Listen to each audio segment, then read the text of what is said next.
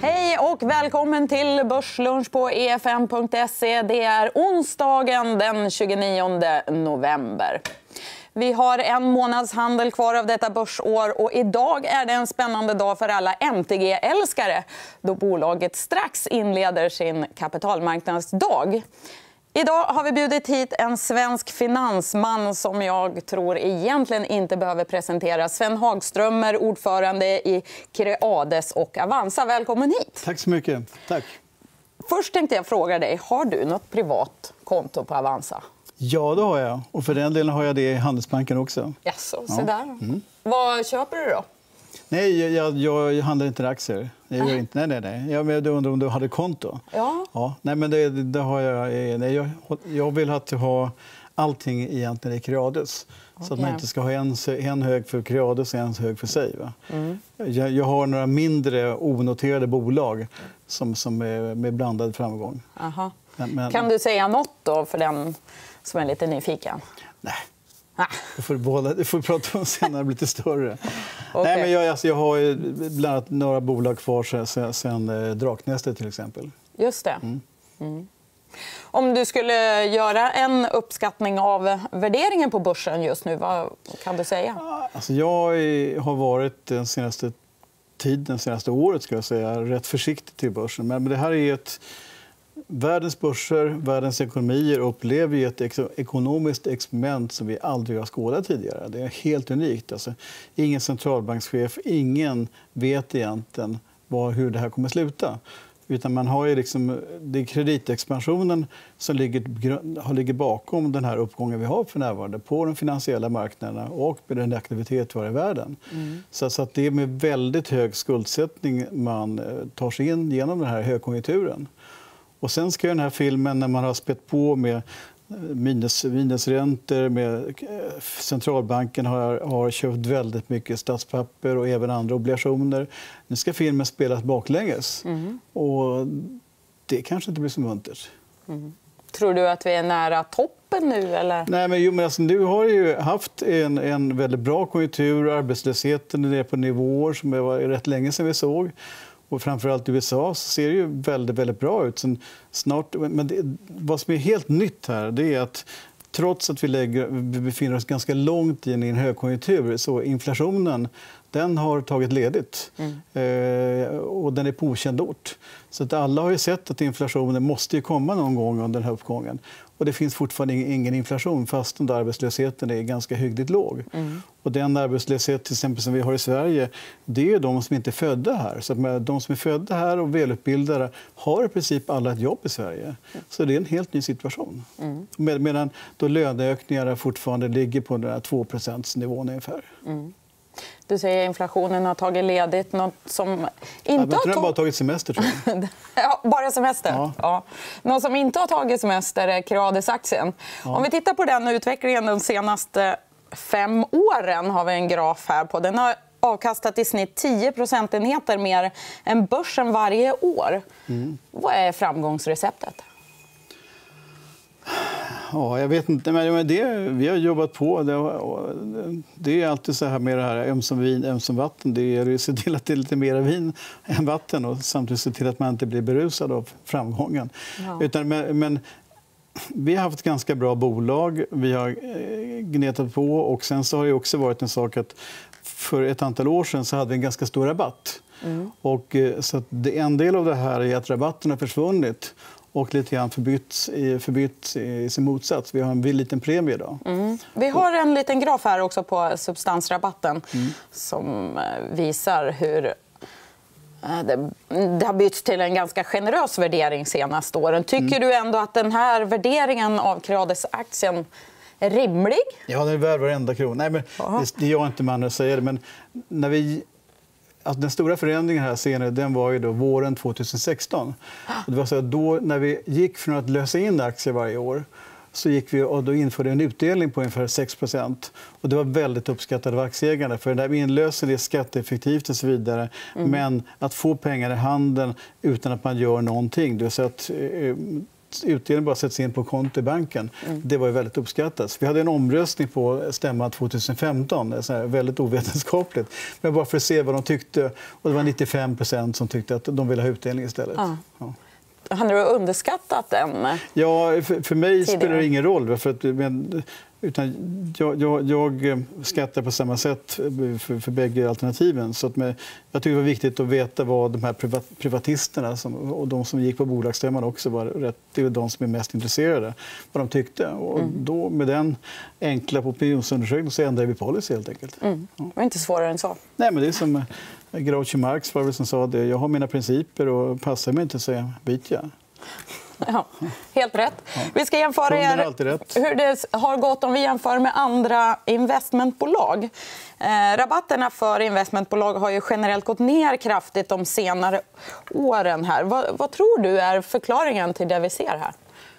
Jag tror, alltså, man har gjort, de här investmentbolagen, samtliga tror jag, är ja, samtliga numera sköts av eh, ägare av kött och blod som är ägare.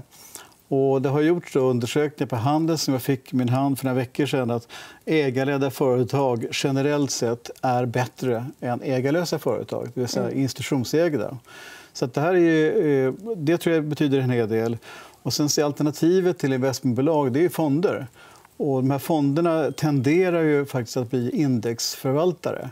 Och det har varit en väldigt tuff debatt. här. Att man har mm. tagit betalt som om man är stockpicker men i själva verket är man indexerare. Mm. Så, så att fonder har varit lite grann ifrågasatt som alternativ. Och framförallt när det gäller Sverige. Då. Och vi har ju, eh, så, så det, det, tror jag är de två anledningarna. Mm. Avanza står ju för en tredjedel av hela Creades innehav. Mm. Hur påverkas Avanza av en eventuell börsnedgång? Ja, det påverkas. Ja. Eh, samtidigt så gör man ju affärer i både upp och nedgång. Men, men eh, när det blir en börsnedgång så, så drabbar det intäkterna. Saken är klar. Eh, sen vet vi inte, men det vi har drabbats av och fortsätter drabbas av det är den här negativa räntan. Vi har ju hur mycket pengar som helst som kunderna får nollränta på medan vi betalar för att ha dem hos vissa banker. Mm. Och, eh, så där är det lite grann Ebberöds bank. vi tror att det här är inte uthålligt. Utan då har vi absorberat den förlusten. Och det är ganska mycket pengar. Vi pratar om alltså hundratals miljoner som vi har absorberat då i Avanza för att vi vill ge kunderna en hygglig avkastning. Mm. Eh, en, en fjärdedel av Creades innehav. Vi ska titta här på Eh, hur fördelningen ser ut. En fjärdedel av er portfölj utgörs av onoterade bolag. Är det här någonting som du tänker att kommer förändras eller utöka den här andelen framöver? Vi har sakta men säkert utökat den. Dels genom att de här bolagen har gått bra i allmänhet. Och, vi har, och sen är det också ett sätt att eh, det är en portfölj som ingen kan eh, kopiera. Vi har, vi har Acne till exempel, som är ett stort innehav. Och eh, det kan man inte köpa på börsen. Mm. Och det andra är också att de här bolagen de är entreprenörsdrivna. Vi har 5% i Apotea till exempel. Och som jag brukar prata om som ett, ett, nytt, eh, ett nytt Avanza. Att det är ungefär samma sak som driver Apotea som drev Avanza en gång i världen. Mm. Så vi, vi har letar ständigt efter ett nytt Avanza. Och, och, jag är sjukt road av nätet också. Mm. Så, så, att är, är det någon som har den här egenskapen att kunna bli ett nytt Avanza och gärna finns på nätet. Då har vi ett bolag som heter Inet till exempel som är ett bolag för, för spelnördar. Alltså, de spelar inte utan du köper hårdvaran via dem. Mm. Och de, de, har, de, finns på nätet och, och, det går väldigt bra för dem till ett, ett, ett sånt bolag. Mm. Så, så att, alltså, jag tror ju med Amazon har ju fortfarande bara 2,5-3% av amerikansk detaljhandel. Så, och det är ungefär det vår, vår, andel av den svenska finansmarknaden. Och då brukar jag säga att vi har 3,5 så det finns det 96,5 kvar att ta. Så att, mm. Eh, mm. Aptiten finns kvar fortfarande. Och din aptit, då? Hur eh, skulle du beskriva prisbilden där ute på de bolag som ni stöter på? Ja, den är lite tokig idag. För att med, I och med att det finns så hyggligt mycket pengar och ganska få bolag som är spännande mm. så är det ju att med, eh, idag är det vanlig eh, detaljhandelsbutik kostar 100 miljoner idag. Mm. Även om jag raljerar lite grann så är det, det är inte billigt. Mm. Om, eh, om vi tittar på resten av er portfölj, då, hur pass exponerade är Creades mot eh, den svenska bostadsmarknaden? Alltså, det har vi bestämt tidigt att vi ska inte vara inne i fastigheter. Eh, för jag, jag tror inte på det. Vi har inte kompetensen. Och den är extremt beroende av just riksbankspolitik och så vidare. Och den vet vi inte hur den ser ut, men indirekt är vi då eh, berörda av den via Lindab. Mm. Som, som, som, det vänder sig till byggande, men då är det inte bara bostäder. Det är, det är fabriker och, så vidare, hallar och vad du vill. Va? Så, så, så att, den enda exponeringen vi har det är via Lindab. Och Lindab... Och Lindab har dessutom en internationell marknad, så det är inte bara Sverige. Mm. Och eh, den här själva utbudsökningen då, som vi ser, mm. kan du beskriva lite mer detalj hur ni påverkas? Eh, utbud av bostäder? Ja. Ja. Jo, men det för första så verkar som eh, de tror att alla invandrare är miljardärer eller miljonärer. Alltså man bygger i Stockholm alltså, lägenheter som inte är denna världen. Alltså, och det är liksom inte riktigt där efterfrågan långsiktigt. Och jag tror att det finns många som äger minst en våning som man, man har späckat i. Va? Och, och, och, och och det finns som någon sa, för 10 år eller 15 år sedan så var det 30 stycken bostadsutvecklare i Stockholm. Idag är det 300. Mm. Det är klart att det har gått så bra så länge så är det många lycksökare. Va? Du tror att det kommer att vara några som ja, inte överlever? och de lycksökare som inte har balansräkningen i ordning. Och jag förstår inte riktigt att alla tycker det är jättebra om man då har byggt här så är det ingen som vill köpa. Då gör man om det till hyreslägenheter. Men de hyreslägenheterna måste, då måste jag ha en hyra som täcker kostnaderna. Mm. Så, så det är ju inte någon bra lösning, framförallt inte långsiktigt. Mm.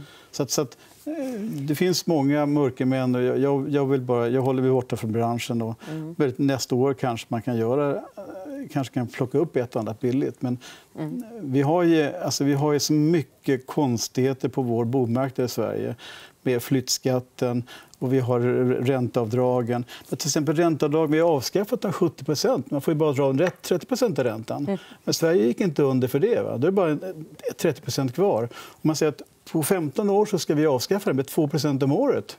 Det är, väl, det är väl inga mm. problem. Då gör man det. Och då börjar man också när det är den här, när det är den här låga räntan. Så vad är problemet? För att den är ju, det är en av de orsakerna till att det i princip kostar väldigt lite att bo. Va? Är vi i en bostadsbubbla? Tror du att vi befinner oss i en bostadsbubbla? Som vissa... Jag tror att vi har ett kraftigt överutbud av bostäder idag. Framför i Stockholmsområdet. Mm. Ja, det gäller inte inre Norrland precis. Men om vi då backar bandet till vad du sa om börsen tidigare. och så. Eh, Lindab och Avanza står ändå för Creades, hälften av ja. Creades innehav. Ja. Ser du några risker med att ja. ni har två så starka ben? Jo, men får vi en bostadskrasch eller får vi en, en, en byggnadskrasch i Europa och får vi en, en, en Ragnarök på finansmarknaden då, klart, då, då får man kanske ha lite enklare vanor. Mm.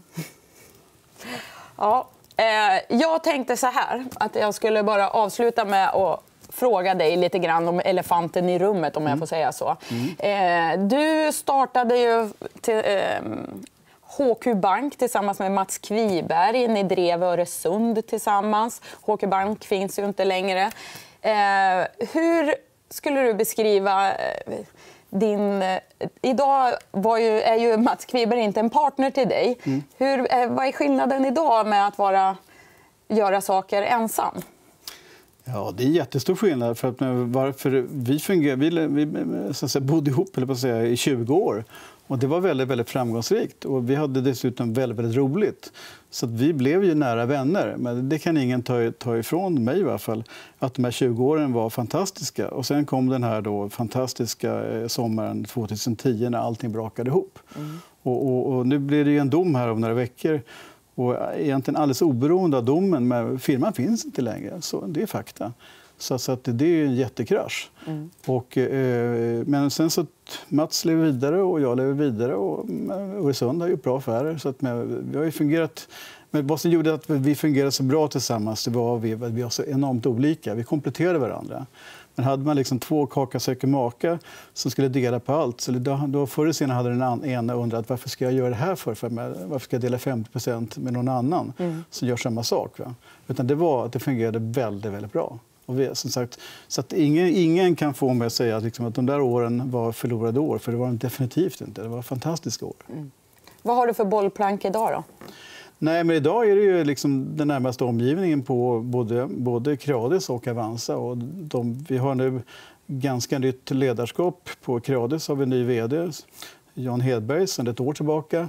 Och sen så kring som två och en halv vecka så har vi då eh, Rickard Josefsson från Länsförsäkringar Bank på Avanza. Och det är otroligt roligt att jobba tillsammans med de här två personerna. Det är dina hela, nya. det, hela, hela, hela det ledargarnityret vi har i bägge bolagen. Mm.